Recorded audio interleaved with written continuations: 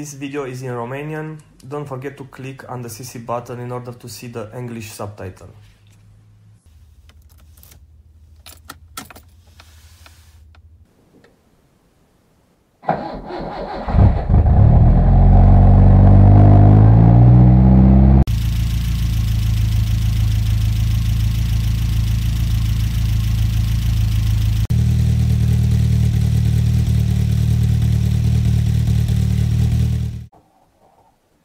Salutare și bine ați revenit pe canalul meu de YouTube, care poartă numele de Calaj Garaj.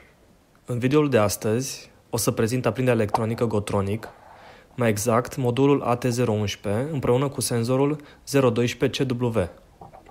Un review complet, dar și o prezentare detaliată, prin care arăt cum se instalează aprinderea pe un Delco de Skoda 120 PAL Magneton. Pe această cale doresc să-i mulțumesc domnului Olaru, de la Gotronic, pentru furnizarea acestui kit. Cu siguranță acest produs nu mai are nevoie de nicio prezentare, totuși pentru cei care încă nu au auzit și vor să afle detalii suplimentare, gotronic.ro este website-ul. O să atașez în descrierea acestui video linkul de la pagina de Facebook, dar și de la canalul de YouTube Gotronic.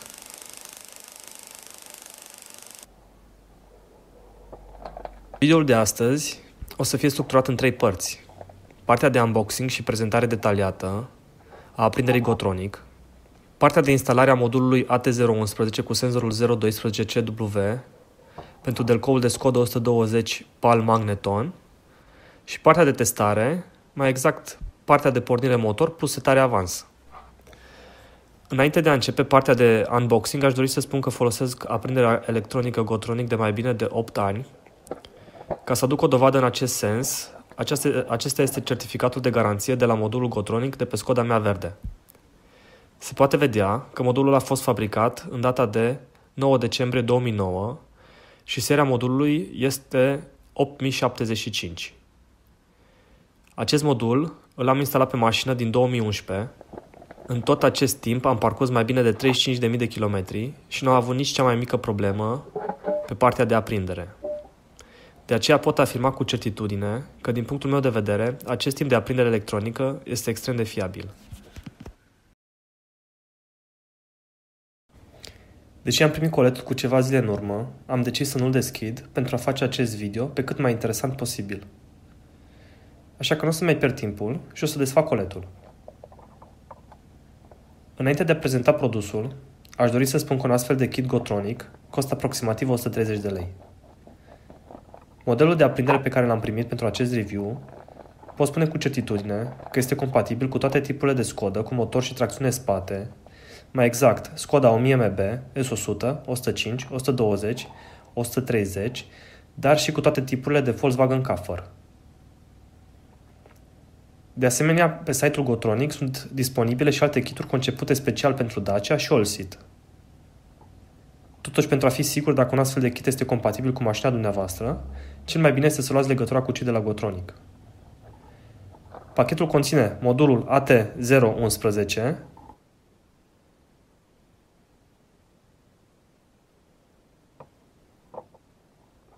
senzorul 012CW, care este un model de senzor nou, o variantă îmbunătățită a senzorului 012B, variantă pe care o folosesc în momentul de față pe scodele mele.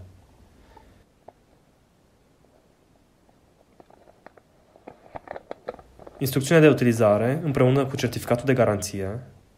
Acest produs este omologat, reare și are o garanție de 2 ani. Din punctul meu de vedere, instrucțiunile de utilizare sunt extrem de simple și ușor de înțeles. Se poate observa că anumite informații esențiale sunt subliniate în prospect, cum ar fi rezistența bobinei, care nu trebuie să fie mai mică de 3 ohmi, lucru pe care îl putem verifica extrem de simplu cu un aparat de măsură,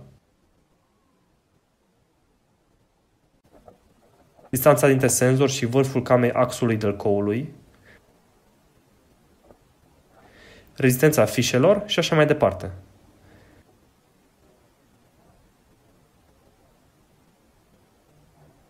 Un aspect important de menționat este că acest tip de aprindere este concepută să funcționeze optim între 30 și 12.000 de rotații pe minut.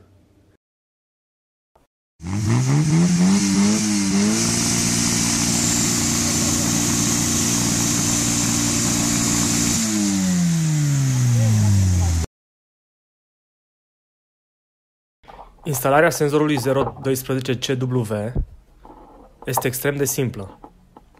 Chiar dacă o să prezint acest lucru pe un Delco de Skoda, procedura de instalare este identică și pentru alte tipuri de Delco. Diferența fiind făcută doar de tipul și forma senzorului. Ca un prim pas, trebuie să îndepărtăm capacul și rotorul Delcoului. Puteți găsi pe site-ul Gotronic și modulul de aprindere AT01 fără senzor, care funcționează împreună cu sistemul clasic de tip platină. Totuși, vă recomand să optați pentru sistemul cu senzor, care prezintă numeroase avantaje față de sistemul clasic. Trebuie să îndepărtăm sistemul de platin din Delco, mai exact, platina de sus, urmată de firul care duce la bobină. Și platina de jos, care este ținută în loc de un singur șurub.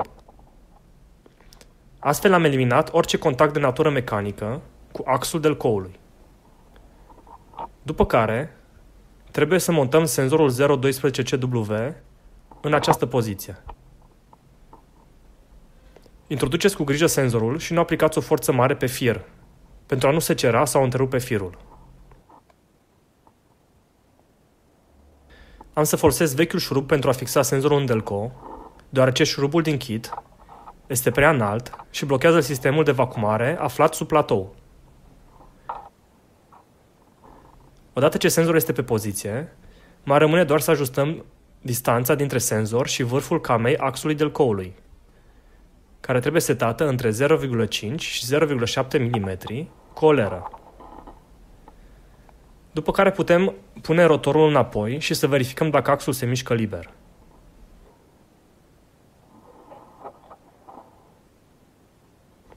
Odată ce am verificat și acest lucru, putem monta capacul delcoului.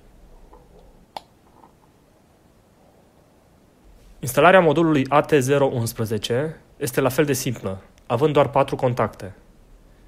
Conectorul lung metalic de la modul trebuie fixat pe borna minus sau 1 de la bobină. Firul roșu trebuie conectat la borna plus sau 15 de la bobină. Firul negru lung trebuie conectat la masă, iar ultimul conector, care este acesta, trebuie conectat la senzorul din Delco.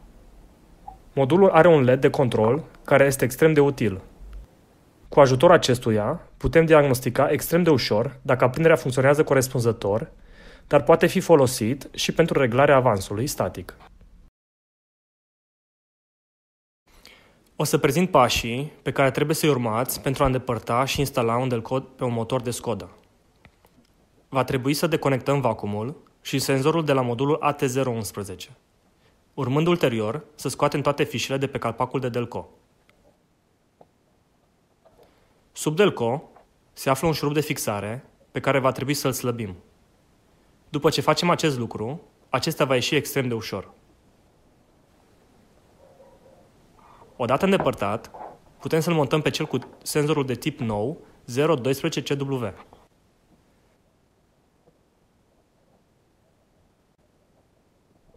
După ce instalăm Delcoul pe poziție, conectăm senzorul la modulul AT011 și introducem pe rând fiecare fișă de bujie. Următorul pas este reglarea avansului static. Învârtind de Delco în direcția acelor de ceasornic, până când acesta se blochează.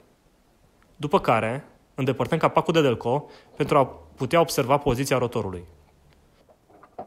Cu un cricket și o tubulară de 30, învârtim de motor până când rotorul se aliniază cu fișa de la cilindru numărul 1.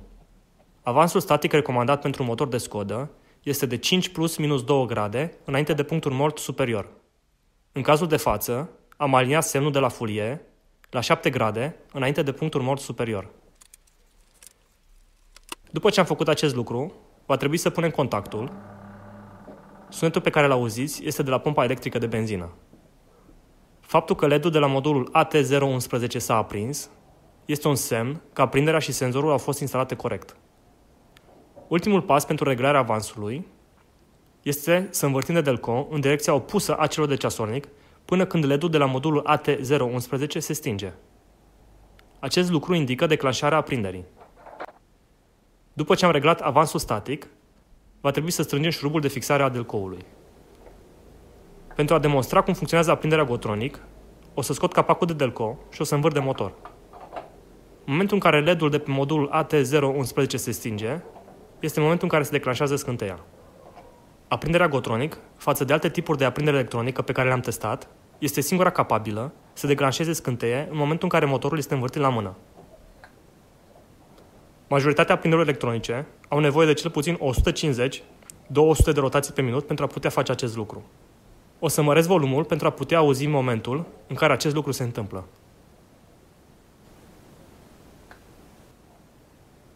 Acum, mai rămâne doar să montez capacul de Delco și să pornesc motorul.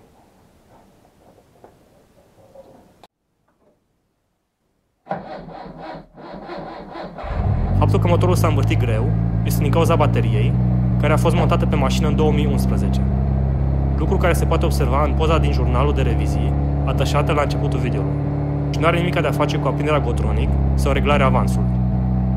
Totuși, cu această ocazie, am reușit să demonstrez faptul că aprinderea Gotronic este capabilă să funcționeze optim chiar și la cele mai mici turații. Dovadă fiind faptul că motorul a reușit să pornească cu o baterie descărcată aproape complet.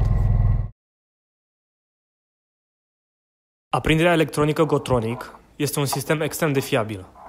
Poate este greu de crezut, dar este prima dată în ultimii 8 ani când desfac acest delco. Din punctul meu de vedere, prețul pentru un astfel de kit este mai mult decât corect. Un astfel de sistem prezintă numeroase avantaje și o să enumăr doar câteva. O scânteie mai puternică, o plajă de lucru cuprinsă între 30 și 12.000 de rotații pe minut, o ușoară diagnosticare și reglare a avansului static, o pornire la rece mai ușoară, relantiu mai stabil, sistem modular, ușor de instalat pe diferite tipuri de Delco. Recomand cu încredere aprinderea electronică Gotronic. Vă mulțumesc și ne vedem data viitoare.